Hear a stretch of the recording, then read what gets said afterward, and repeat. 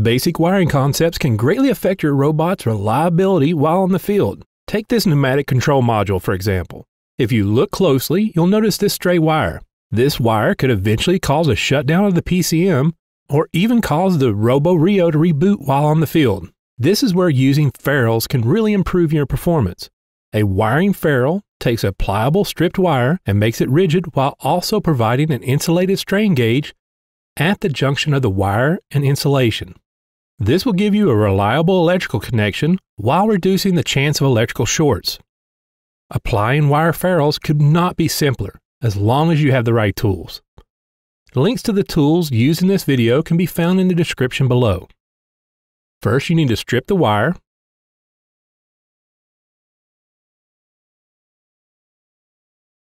Insert the wire into the correct gauge ferrule. Use a proper crimping tool like the one shown here, and make sure to only crimp on the metal sleeve and not on the insulation. And there you go. Now, a nice bonus of using ferrules with spring clamps like these is that you don't even need to use a tool to insert them. They just pop right in. If the ferrule is applied correctly, there'll be no copper showing, and this wire can be inserted and removed multiple times without having the wire turn into a mess like this. So save yourself a future headache and use this basic wiring technique. Good luck and have a great FRC season.